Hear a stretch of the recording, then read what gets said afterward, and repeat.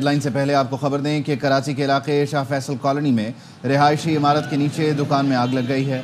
आग ने इमारत को अपनी लपेट में ले लिया है, जिससे बालाई मंजिलों पर मौजूद फ्लैटों के मकीन फंस गए। इमारत में फंसे लोगों को निकाला जा रहा है। रेस्क्यू हुकाम का कहना है, इमारत के नीचे गैर कानूनी पेट्रोल पंप कायम है।